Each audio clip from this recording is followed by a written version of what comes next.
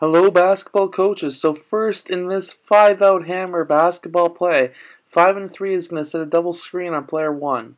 One will use that screen, and he could go in for the layup, or he could wait for player four to screen for player two.